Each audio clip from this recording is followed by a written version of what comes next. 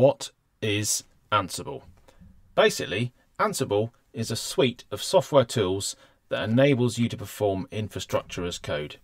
It's open source and it enables you to do software provisioning, configuration management, and application deployment.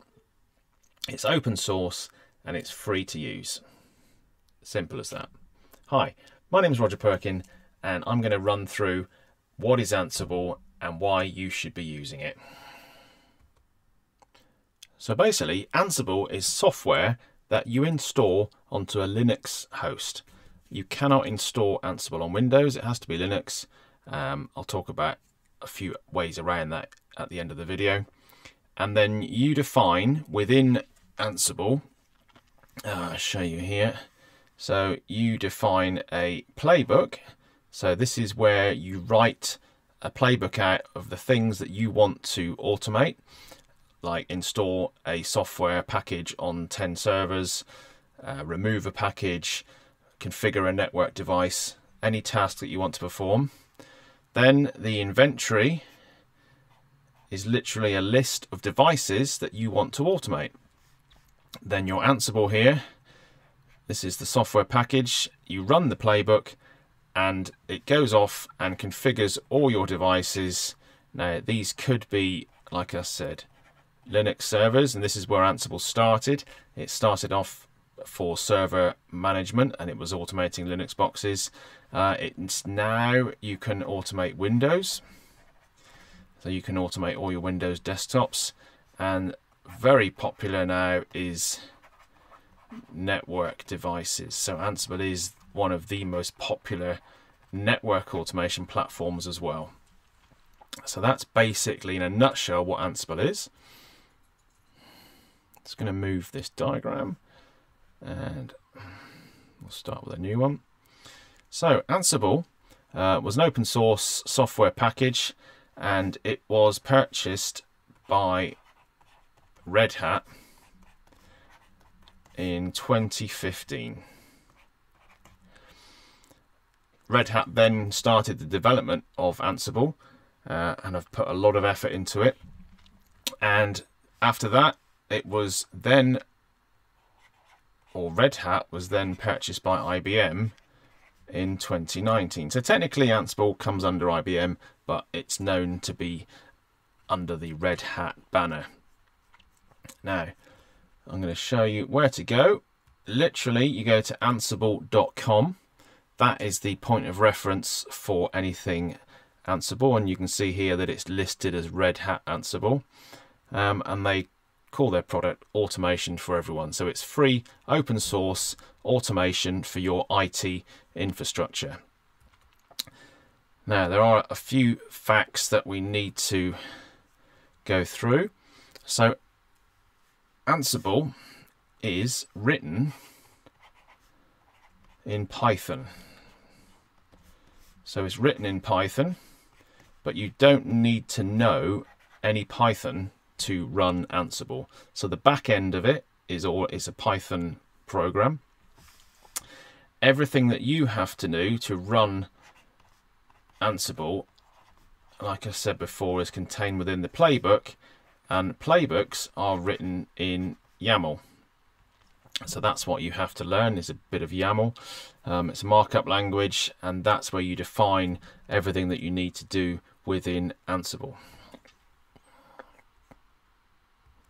Now I said that Ansible has to be installed on a Linux server and it cannot be installed on Windows. So you can't install natively Ansible on Windows. But if you've got a, a Windows device that you want to install Ansible on, uh, then it's very easy to do. You can either use the Windows subsystem for Linux, uh, WSL. That enables you to run uh, a Linux shell underneath your Windows deployment. You can run Ansible in that, or you can use a virtualization platform uh, like VMware Workstation. That that will let you do it. So anything where you can run a virtual instance but it cannot be installed directly onto Windows. Now, the, the more interesting feature about this is the fact that Ansible is very lightweight.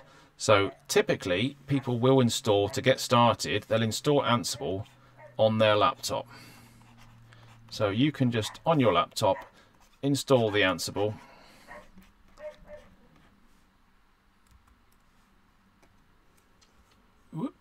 On.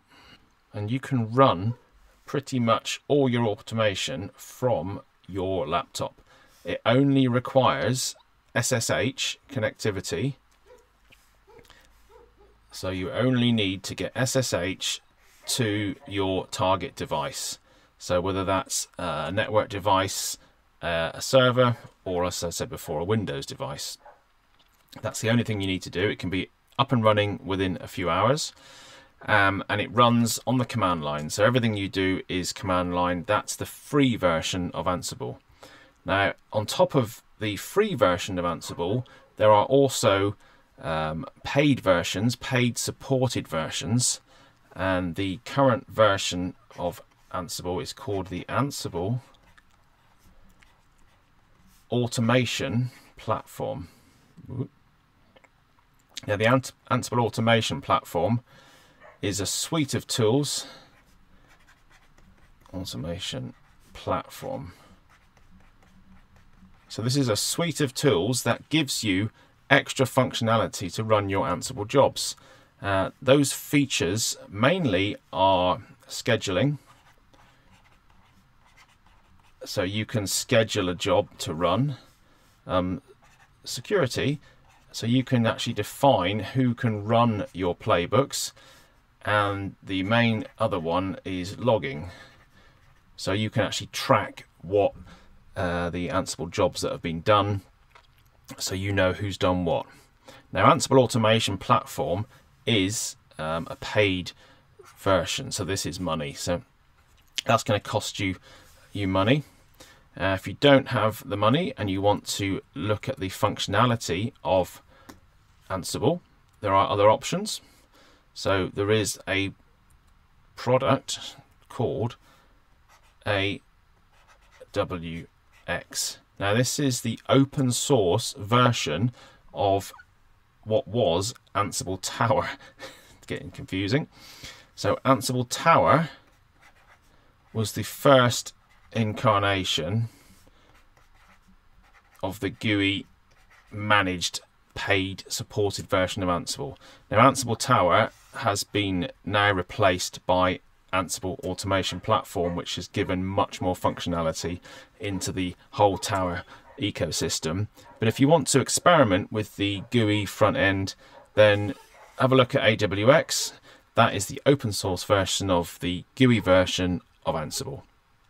So my name is Roger Perkin. Like I said, I'm actually a network DevOps engineer based in the UK. And in this series of videos, I'm going to go through how to use Ansible um, and getting started with Ansible and primarily for using Ansible for network automation. So I hope that throughout this video, you've now learned what is Ansible and basically what it does. And I look forward to seeing you in the next video. Thank you for watching. See you soon. Bye.